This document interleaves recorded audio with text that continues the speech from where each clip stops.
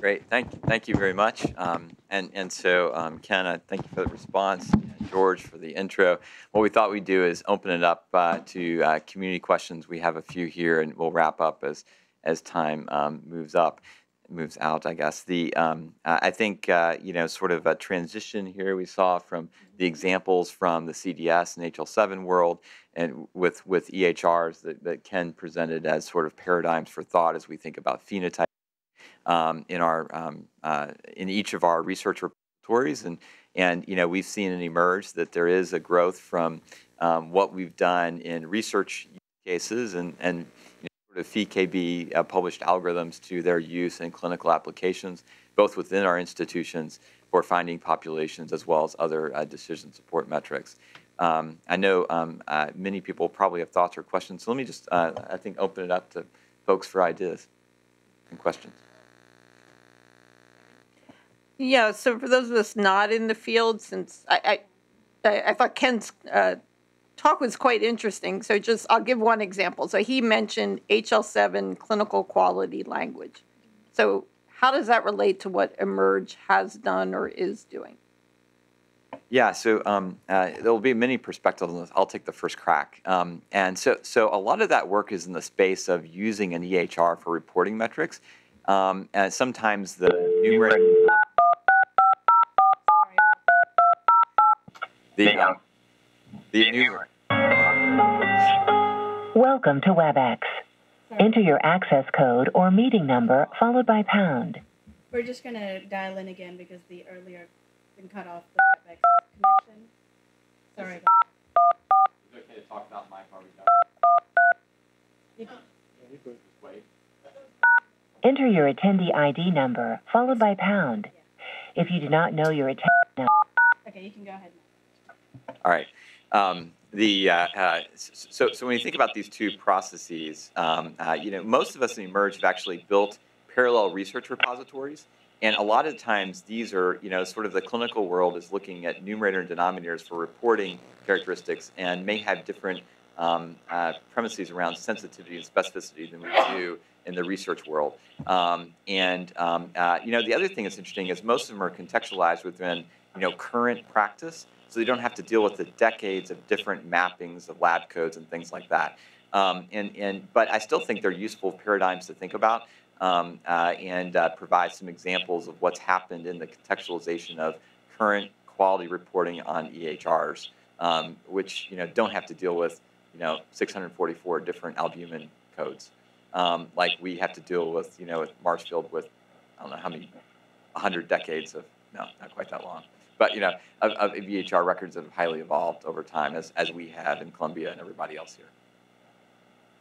So uh, I'll note, so CQL is basically an expression language. So when you want to say like, if this is true, you know, then consider an exclusion criteria met, et cetera.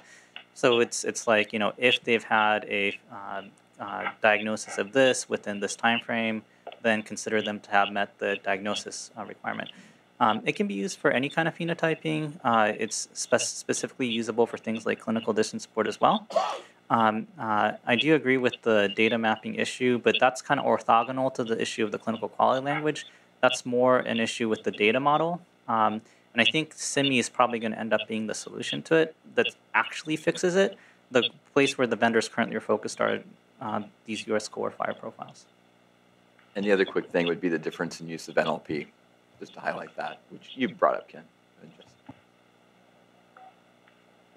So PheKB is an awesome resource, and currently it's generally in the Word docs. And I was wondering if there are plans to make it computable, or if that's even worth it because of the issues we've talked about that it has to be done differently for any different place. So why bother?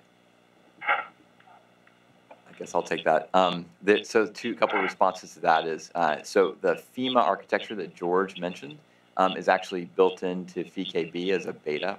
Um, and uh, that was built off of some of the um, uh, uh, National Quality Forum based uh, XML standards, which probably could evolve to um, uh, ECQMs. Um, the, um, as, as one answer to that, we also have OMOP uh, modules that George and others have put in as SQL that could be directly executed and uh, that is now searchable. So there's a, uh, you can search for all the MOBOP, OMOP uh, entries Um, so those are two ways in which we're trying to promote uh, reuse of um, computable things. There's also um, nine modules have been uploaded, which are computable and have been shown to transfer between different uh, EHRs. just to point out, so the, ironically, the phenotyping work group never talks about EHRs because the presumption is the academic medical centers has abstracted their data from the EHR, stuck it in a data warehouse, the ones that are eMERGE uh, collaborators, and it's about uh, consistency as the conversion that Josh is talking about. Um, Uh, could everyone on the WebEx please mute? We're hearing some background. Um, and then there's a, but there's a step that I didn't mention that I should have, which is that we have our local databases. Then there's the central database where the e-record counter, we're actually putting more and more variables centrally that we can all share. So that it actually is defined to be the same data model because in fact it's shared among us. And we counted it earlier as 15 variables, but actually if you look at it, each of those variables is, is a zillion different levels. So it's really thousands of variables that are being included and put centrally that we can work on. And I don't And think any of us, what's that? And curated. And curated so that we've gone through our decades of data and figured out, we used to call our lab test this, then we called our lab test that, and we changed it probably six times in the last 20 years. And we've done those mappings so when it goes in the e-record counter, we're all going to the same format. And as Michael pointed out, that's where a lot of the work is. The, the pain of phenotyping is getting into a consistent format. I think this, this will work. Um, so you, a couple of you have mentioned that for managing, um, analyzing drug use, that RxNorm is useful at, at least saying what, what medication we're talking about, but that there's not standardized ways of documenting route. Is that like a, a easy win task that could be taken on to ask the EHR vendors and others involved in getting these primary data to come up with standardized terms for, for route so we could at least manage that? So I think I brought it up, so I'll address it. So um, there are actual standards for route. There are things like the FDA route codes, there's SNOMED codes. The issue is it just hasn't made it up to the US Core FHIR profiles. And I've had this conversation with folks at Epic and Cerner, and uh, they're totally open to these. They just want the use cases and the justification of why it's needed. And this actually came up because we've been working with the CDC to get opioid management guidelines um, supported, and that was a, a stumbling block where we identified a need to map uh, locally. Um, and they're totally open. So um, I think um, as a pragmatic matter, the approach that uh, other initiatives can take, eMERGE can take, is to take important use cases that are understandable to them and to their um, uh, client stakeholders, us basically, and say this is why we need it. You know, it, it, getting it into the standard is the easy part. Actually, it's getting the vendors to adopt it that's hard, especially because a lot of these codes are not already encoded in internally. So again, like labs, we say LOINC. Well, that's great. Some of them are already mapped in our HR system, but whenever we do analyses, the mappings are oftentimes wrong or absent. So it's it's it's the kind of thing where the standard is only the first step. The degree of, to which it's actually supported by your vendor is probably really critical. Hey, this is a question for the, the phenotyping folks. Um, so, um, can you hear me now? So, um, you know, one of the, the tasks that, that could be part of the next round of eMERGE um, is essentially scaling up outcome assessment as we sort of return results to a larger and larger cohort of patients clinically.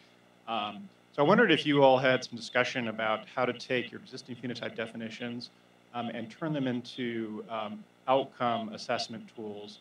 So that might add, for example, timing of the emergence of different kinds of phenotypes in clinical uh, observation. I'll jump in there. The um, and I think that's a great use case because if you look at uh, some of our phenotypes have combined other phenotypes and use them almost as modules. So if you look at diabetes, um, if you look at myocardial infarction in the setting of drugs, so pharmacogenetic phenotypes, um, which one of the uh, group efforts that the outcome group has worked on, um, have often have included sometimes compositions of multiple other emerged phenotypes, and that's a use case we've seen um, in other people that have adopted um, the emerged phenotypes. Um, I remember when we looked a couple years ago at uh, type 2 diabetes, for instance, and uh, we saw that 40 groups outside of emerge had used that uh, phenotype in various different ways and, and some of those were as outcomes such as uh, outcome after um, uh, uh, transplant as uh, development of uh, new onset diabetes after transplant so no doubt I mean, they, they may just have to be modified to improve their sensitivity in some cases.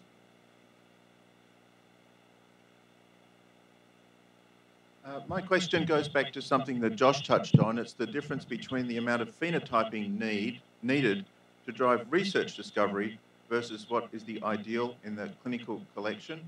And I would say that one of the lessons we've learned here and in other arenas is that in research discovery, a little bit of phenotyping can go a long way as long as you can actually access it.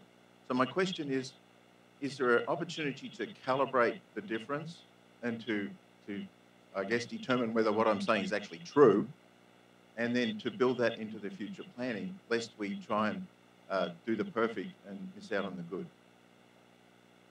Yeah. That's an interesting thought. And and maybe one way to do that is to kind of survey the different emerge sites for which ones truly do have this research repository, so an abstraction of their EHR, and which really are trying to use their EHR as it is. They have maybe a mirror version, but they're kind of running their scripts off of the mirror of the Clarity database as opposed to a full abstraction of Clarity and all the other databases within Epic into a research database and see if there are differences. Because I think there are some emerge sites that, that have that full research abstraction and others that are trying to uh, kind of pull from the mirror version of the EHR. So I, I think that's an interesting thought, and I don't, I don't think we've done a lot of that yet. So this is Shawn Murphy from Harvard. So my question is about this incoming EHR conglomerates. So there's been um, activity in Epic, for example, to create something called Cosmos, which is going to put together all the EHR data from all the different epics or whoever signs in, and then something's going to be done with that data repository. And my question is, has anybody in this room ever participated in a um, EHR-based conglomerate such as that, which which worked out, right? I, I've heard many of these being initiated, and I, I, I just don't know of any. And I, I always hear this suggestion that, you know, we do this and so forth, but I've never heard of one that actually worked out. And you, you might think like, why wouldn't that work out? And it's actually because EHRs actually do things in many different ways. I mean, there's like a hundred different types of flow sheets that you can have in Epic that could be managed in different ways, and they're not necessarily going to be put together in the same way. So I'm just wondering, has anybody done that? The, the only closest success I can think of is when GE abstracts data from their set of EHR vendor customers and creates a database that they share, but they're only taking a subset that was shareable. And they don't interact with the sites. It's just part of their contract that the data gets goes thrown in there. And so that Have you seen it done for science, George? Have they validated? So, so you know. I don't know that they validated. It's been used in some studies. I don't know how it's validated. Okay, well, that's used in some studies counts because what I see a lot is I'm not defending Cosmos, quality. by I know. I know, I know. but quality, right? They define quality by it's what the code is. Period. Right? There's no validation. It's just that's what it is. And and I've just never. I just don't have a good sense of is it useful for studying science or not. And I would just note that um, the bar for studying science and the bar for clinical care and financial management for health system, I mean, it, you know, it, it's it's not that research is inherently needs higher quality data than actually taking care of the patient too. So, I mean, it, really just comes down to what's the quality of the data that got entered by the user. My experience, at least with Epic, is if you share Clarity queries with others, you can reuse them. Now, there are value sets that are um, uh, institution specific, but then, so you need to do multiple iterations. But um, I've been pretty impressed by how easily I can um, share queries across institutions, at least on Epic. Yeah, I wanted to respond to that as well. I mean, this is really an implementation, implementation science question. Um, and we've not uh, really, uh, we've done, um, I think, uh, studies within Emerge uh, that have looked at uh, things from an implementation perspective where we've mapped sort of the variability of implementation and looked to see are there best practices. But we've never used an implementation science framework like REAIM or something of that nature uh, to be able to study it systematically and in a reproducible uh, and reliable uh, and valid way. And so I, I, was struggling, frankly, with Ken's talk because um, while uh, if Chris Chute were here, he would clearly have um, thanked you for the attention to standards. Uh, but the reality is, is that if we look at projects like Emerge, you know, the, the primary goal here is uh, discovery and implementation. And so the amount of effort that it takes to actually promulgate standards um, you know, exceeds the available resources and would be an opportunity cost related to the primary goals of implementation and discovery. And so it's a real challenge to figure out what's the scientific question of the standards issue. But I think it could be approached in an Emerge 4 by taking an implementation science approach and saying, well, what's the cost of not doing this? And what's really needed? Where are the gaps? And so that, to me, would frame a scientific question. And Mark, can I Um, respond to that as well? Right, so as- I was oh, just gonna say, you guys have a couple of minutes, so Marilyn, if you want to respond, and if Marilyn, you and Josh want to do summary. Um, as I've been sitting here listening to the conversation and thinking about the synergizing with other groups, um, adopting some of these other standards, kind of changing the way we do things, that would mean we can't do 27 phenotypes the old way in Emerge 4, right? So in order to transition and, and try out different machine learning methods or um, do some of these other things, we would have to take from somewhere else, unless Emerge 4 would have both a, a do it the old way budget for phenotyping as well as a try some new things phenotyping budget. And my guess is that is not what we would be talking about. So, so I do think we should think a little bit about, you know, is there a way to to combine the two of maybe experimenting with some of these alternative implementation of phenotyping strategies, but but we wouldn't be able to do that and at the same time generate 40 new phenotypes. We'd have to think through maybe we generate, you know, a fewer number, but in a we come up with faster, more efficient ways to do them. I don't know. So that's kind of what I've been been thinking about. Josh, do you want to? Oh, sorry. Just because it was mentioned in a couple of comments, I would caution against us moving in a direction where we're using the EHR as our research database. Most of us have changed EHRs. When we switch to Epic in two years, it's going to have one or two years of data. So you need to have that separate longitudinal store, and that's what we're doing queries against, because I don't want to get confusion in how the outcome. Um, I wonder, a, a lot of the challenge, it seems, that I'm hearing about phenotyping is figuring out how to take the kinds of measurements that we have used, that we currently use, and putting them into some sort of electronic uh, homogenized database that we can then ask questions from these, what, what are, by the time they are collected, retrospective data. And it seems to me the future of phenotyping is going to be digital real-time uh, physiologic monitoring uh, using micro devices and nano devices. And I wonder to what extent uh, you are thinking about those kinds of things. Si- Sites are doing pilots on that. Different sites are doing pilots. There's no, I don't think there's a net-wide wide study.